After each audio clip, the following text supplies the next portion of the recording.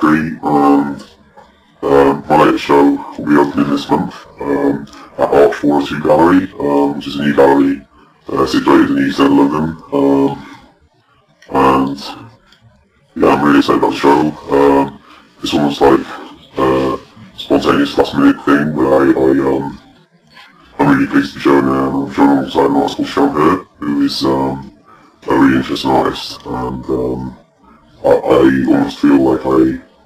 and keep to show for people to see when they see it, but we talk about it